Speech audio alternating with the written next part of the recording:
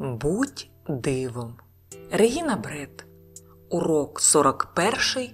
Здійсни чиюсь мрію.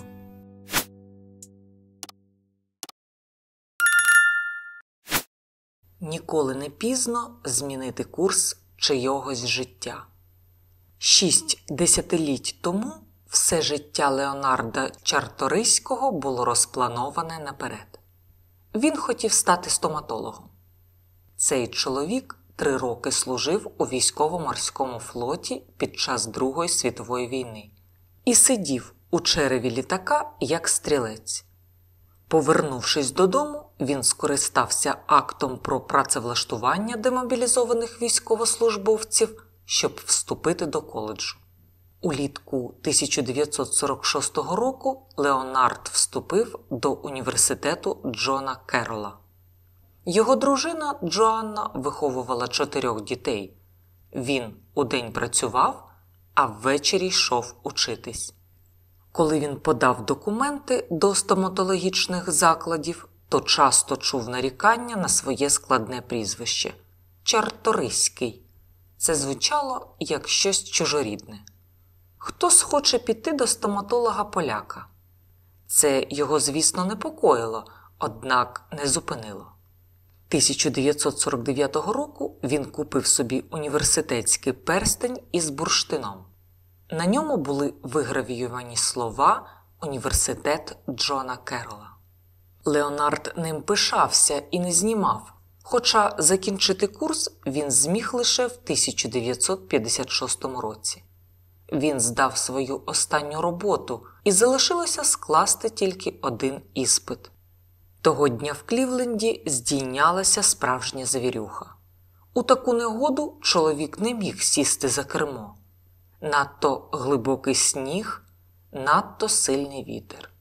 Але викладач не сприйняв причину його відсутності як поважну, угідливо прокоментував його польське походження і сказав, що Леонардові доведеться пройти весь курс навчання знову.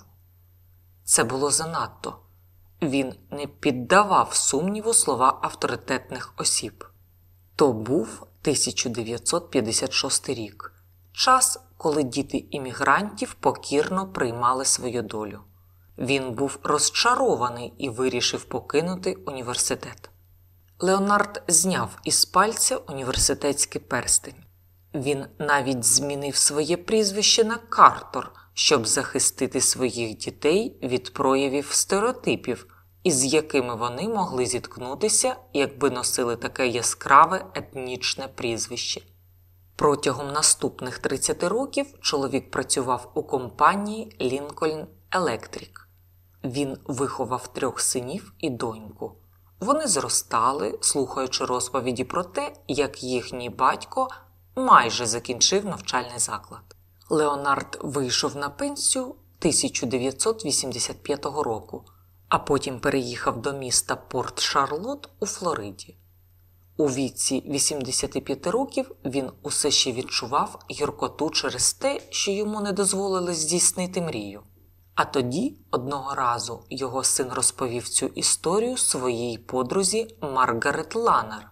Це так її схвилювало, що вона написала Робертові Ніхову, президентові університету Джона Керрола, і попросила, щоб цей навчальний заклад видав містерові Картеру почесний диплом. Том нічого не розповів батькові. Він не хотів пробуджувати марні сподівання.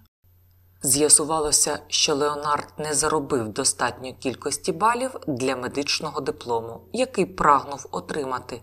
Але Бет Мартін, заступник декана коледжу мистецтв і наук, порівняла його старі оцінки з каталогами, починаючи з 1949 і закінчуючи 1956 роком, та з'ясувала, що він мав досить балів для отримання диплома з соціології.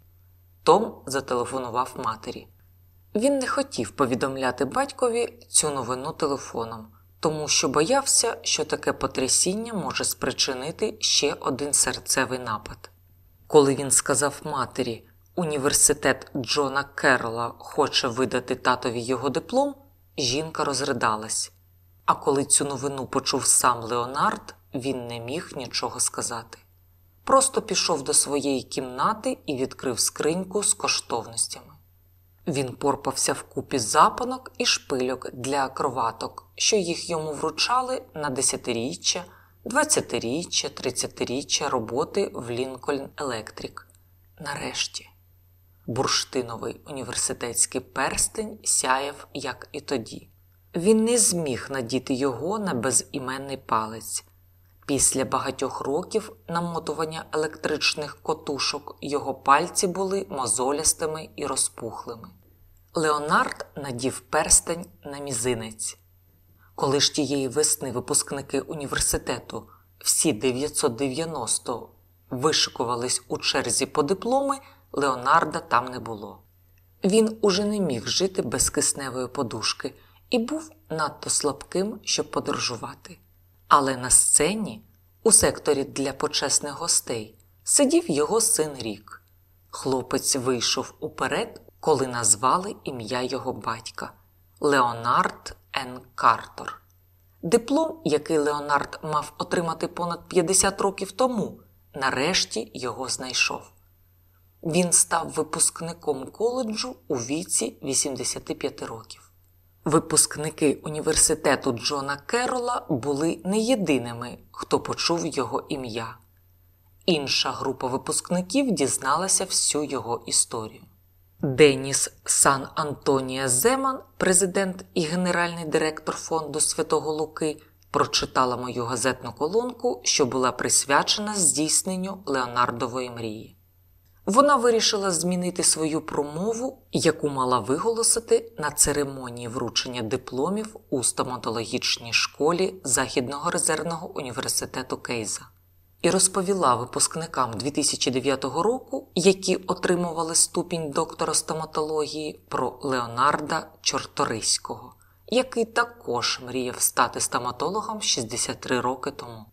Деніс підсумувала весь шлях, що пройшов цей чоловік, починаючи від військової служби під час Другої світової війни і закінчуючи вечірніми заняттями в університеті Джона Керрола, завірюхою та зневагою до його прізвища.